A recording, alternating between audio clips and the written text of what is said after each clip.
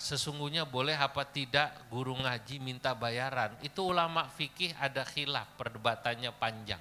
Apa dalilnya? Inna ahakka ma akhadtum alaihi ajran kitabullah.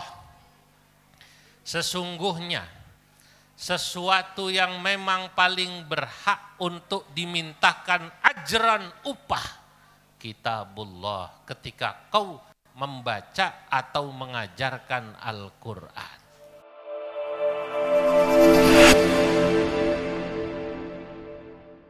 الحمد لله وصلى ربنا على النبي المصطفى حبيبنا وآله وصحبه ومن قرأ وهك في التجويد نظما حررا سميته هداية الصبيان أرجو إلهي غاية الرضوان. كان begitu Walaupun sudah hafal ini harus dipraktekkan.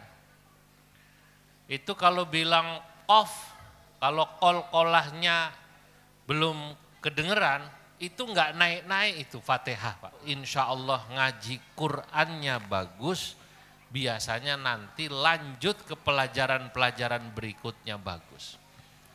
Nah, saya ingin katakan kepada wali santri Kiroati, ya Bapak-bapak, ibu-ibu yang hadir ini termasuk yang harus bersyukur karena kalau anaknya sudah diwisuda kiroati hataman setahu saya ya, kalau saya salah ya mohon maaf, insya Allah saya boleh bisa katakan jamin santri kiroati ini insya Allah semuanya bagus bacanya. Alhamdulillah. Dan kalau sudah bagus, masalah lagu belakangan yang penting fasih. Karena kalau sudah fasih, nah itu yang nomor satu, sahlah dia menjadi imam kita. Dulu saya ketika ngaji Quran, Bapak, termasuk pesantren Quran, saya selalu memperhatikan ayah saya setiap kali nengok saya di pesantren, itu pasti kalau tidak maaf bawa kue, pasti bawa amplop. Buat siapa? Buat gurunya.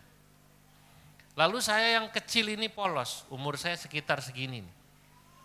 Saya nanya sama ayah saya, bah, kenapa kalau abah nengok saya selalu bawa amplop, selalu bawa tentengan buat Pak Kiai, Pak Ustadz.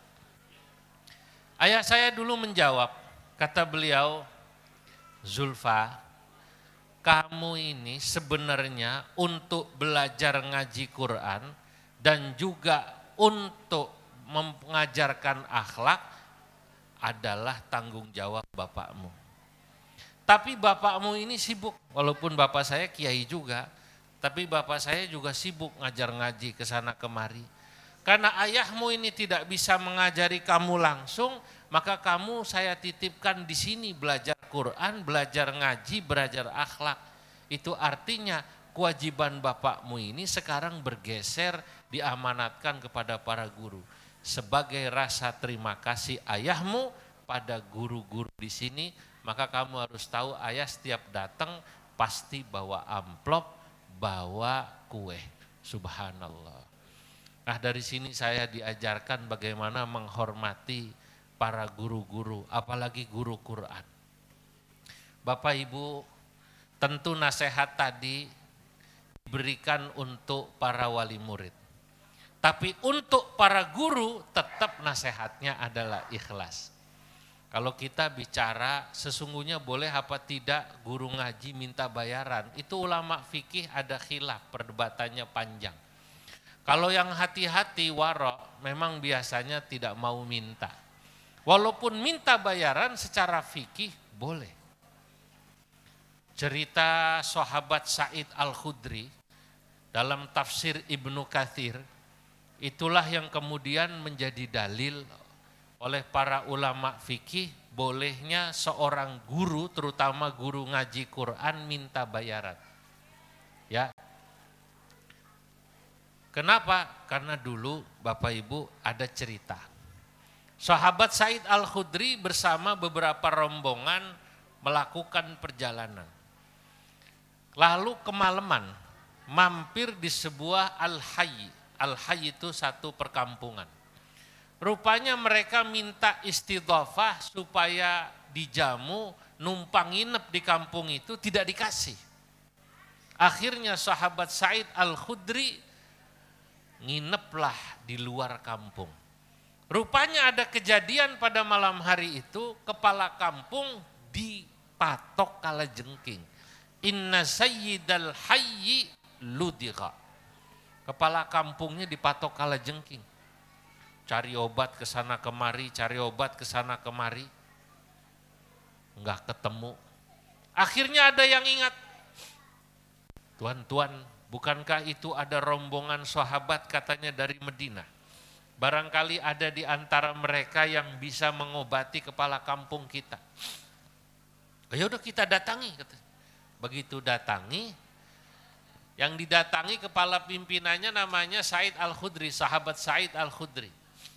Kata orang kampung tersebut, wahai fulan, wahai tuan Said Al-Khudri, inna sayyidana ludiga, kepala kampung kami ular atau dipatok kala jengking sehingga tidak bisa jalan. Berkenankah ada di antara bapak-bapak, saudara-saudara yang bisa mengobati kepala kampung kami?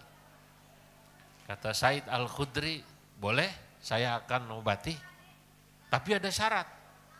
Apa syaratnya? Kalian ini kami tadi sore minta menginap, tidak dikasih menginap. Sekarang kepala kampung Anda dipatok kala jengking minta tolong kami. Sekarang kami mau minta perjanjian. Apa itu? Kalau nanti kepala kampung kami obati, lalu sembuh, kami minta upah. Apa upahnya? Kami ini ada sekitar 40 orang, kalau sembuh nanti kami minta diupai 40 kambing.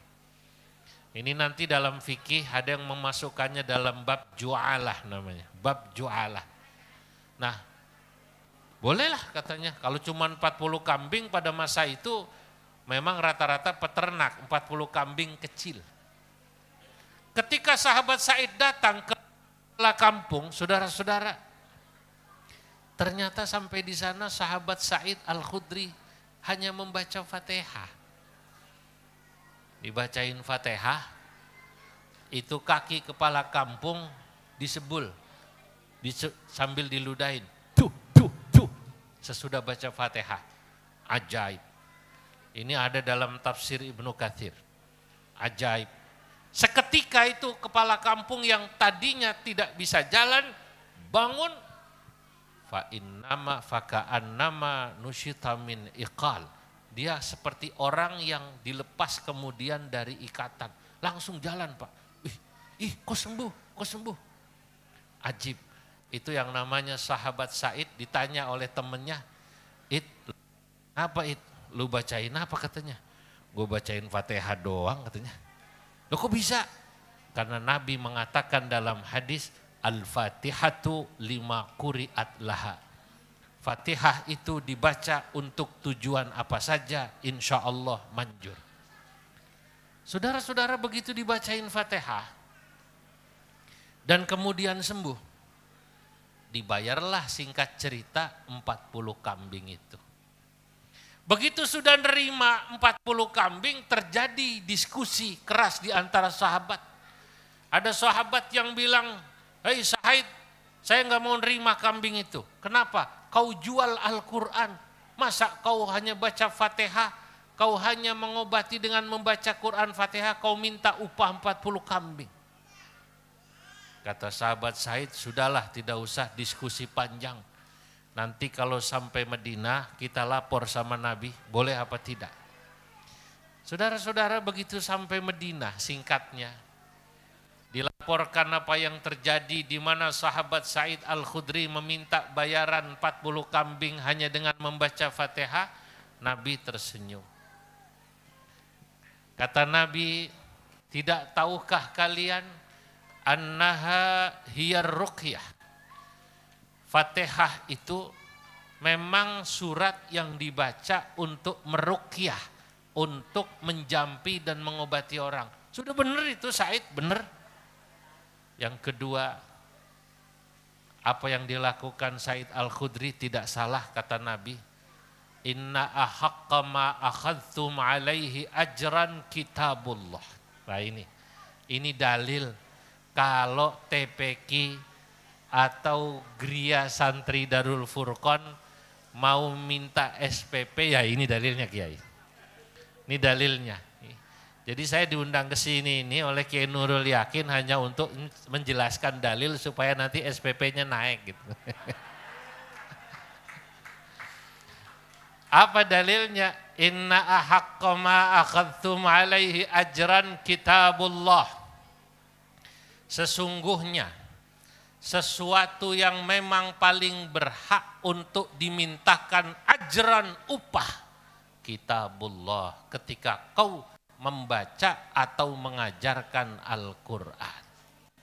Ah, maka nanti para ulama fikih menjadikan hadis ini sebagai dalil yang utama bahwa orang ngajar ngaji boleh minta bayaran.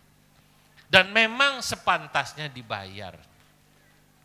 Tadi Pak Guru cerita tuh, kalau di Arab itu guru ngaji, Masya Allah bayarannya banyak, itu betul.